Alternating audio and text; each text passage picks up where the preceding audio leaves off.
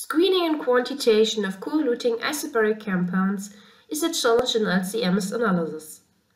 In this video, we demonstrate that Bruker's trapped ion mobility mass spectrometry instrument, the timsTOF, and the Bruker easy-to-use processing software TASQ enable separation and quantitation of such co-eluting isobaric compounds.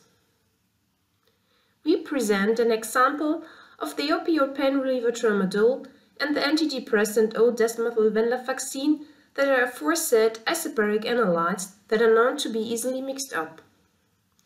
The respected extracted ion chromatograms show that these compounds are not well separated.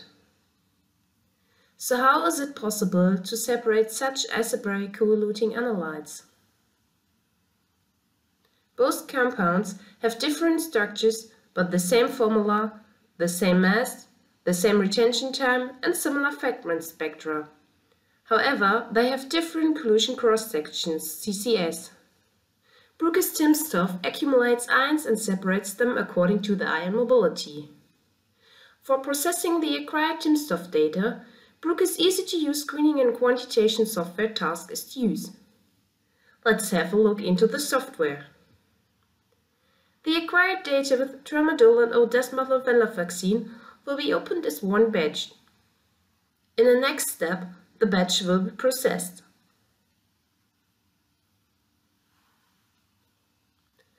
The concentration of tramadol is 200 nanogram per milliliter in each sample and O-desmethylvenlafaxine has a concentration range from 5 to 500 nanogram per milliliter. You can watch the software processing.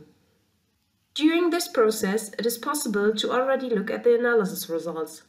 We select an analyte and a data file. The different tables give a detailed result overview immediately. The batch results, the analysis results, and the detailed error results. The mobilogram view shows the overlaid extract ion mobilograms of precursor and broadband CID fragment ions. O-desmethylvenlafaxine and tramadol are separated based on the ion mobility.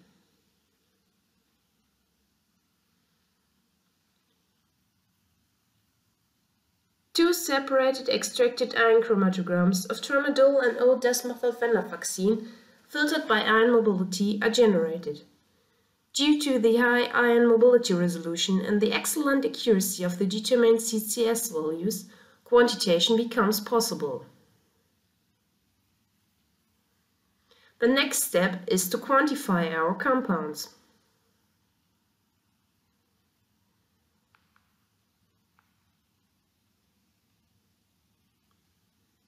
In the calibration function graph view, the graph, the equation and the coefficient of determination are displayed.